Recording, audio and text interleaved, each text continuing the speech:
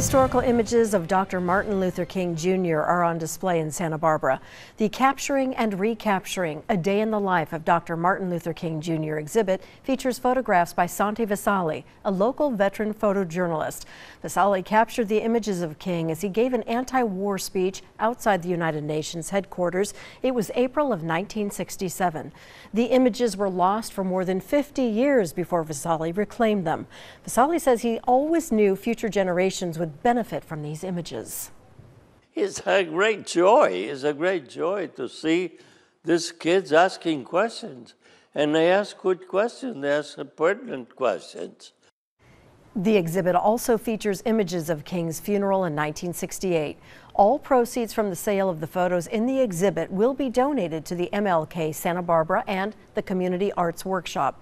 The exhibit is open now through Sunday, February 4th from 10 a.m. to 6 p.m. at the Community Arts Workshop on Garden Street.